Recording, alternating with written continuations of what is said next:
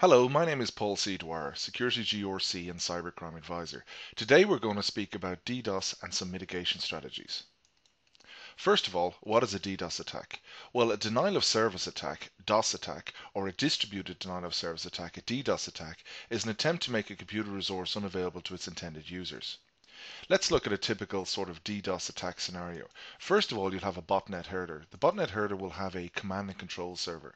This command and control server is generally uh, communicated with uh, from the botnet herder via a number of proxy servers in order to disguise the identity of the botnet herder.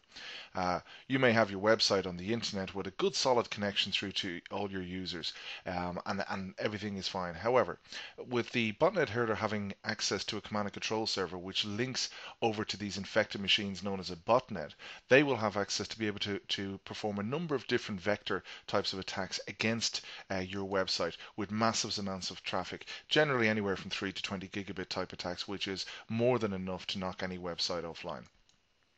Okay, let's look at some strategies to mitigate attacks. Well, generally these uh, types of mitigations tend to be reactive and very expensive. They range from redundant topologies to excessive bandwidth, load balancing, layer 7 switching, and even content delivery networks. But let's look at some of the more basic things we can do in order to mitigate the risk of a DDoS attack.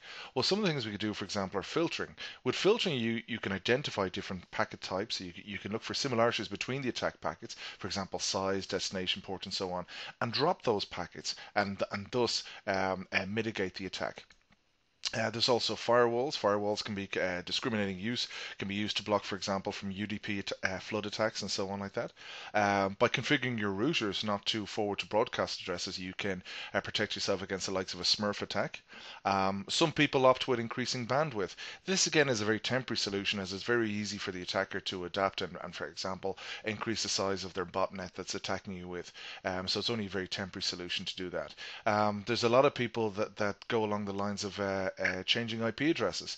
Um, I know a number of attacks have been going on for years based on people changing IP addresses. The reality is most attacks attack domain names as opposed to IP addresses, so this isn't the the the, uh, the silver bullet that people would like to uh, think that it is.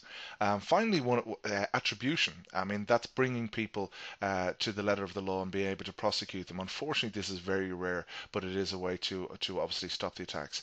Um, what I would advise the main way of dealing uh, with the risk of DDoS attacks is to invest in a DDoS mitigation service. So how do you evaluate such a DDoS mitigation service? Well, let's look at some questions you can ask a DDoS mitigation service provider. Firstly, how many years have you been fighting DDoS attacks using your current strategy? Next, how many attacks do you mitigate? What is your typical time to mitigate attacks? How much bandwidth dedicated to mitigating attacks do you have? Describe how your network is globally distributed, where are your scrubbing centers, and what capabilities are in each. Which personnel in your organization are specifically devoted to fighting DDoS attacks? Explain the role of the person who answers the phone when you call in while under attack. Do they actually fight the attack or just log the request? Which tools and techniques do you employ to detect, analyze, and mitigate DDoS attacks? How does your service detect and mitigate application layer Layer 7 attacks? How does your service detect and mitigate randomized get flood attacks? Produce material evidence of your researching and fighting zero day attacks. Hopefully, you'll find these questions a good way to evaluate the different service providers out there, and you'll be able to compare answers between them and make your judgment call on, on, on the best service to use for your particular requirements. Okay, I hope you found this uh, video both uh, useful and informative and uh, by all means please stay in contact via the uh, uh, various forms here or visit uh, my website at paulcdwyer.com. Thank you.